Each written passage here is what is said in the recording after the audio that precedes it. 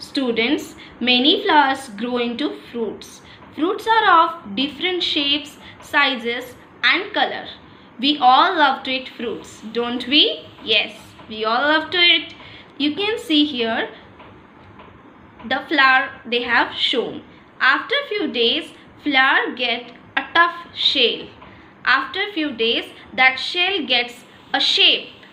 And after few days, surely that shape will convert into the fruit. This is the cycle of pomegranate. Pomegranate means what? In Marathi, we called it dalim.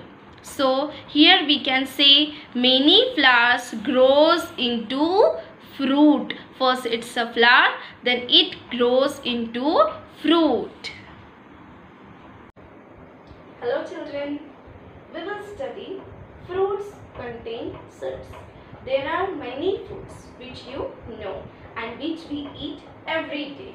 So they are mango, apple, papaya, watermelon, then jamun. There are so many fruits which you know.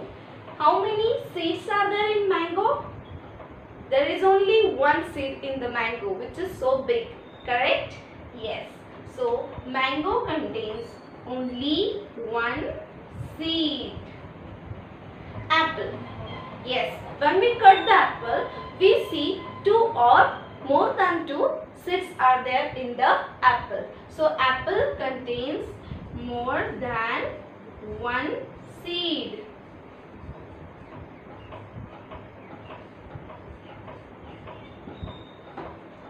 Papaya. Yes, when we cut papaya, you may see there are so many seeds which are available in the papaya. Same in the watermelon. There are so many seeds available in the watermelon.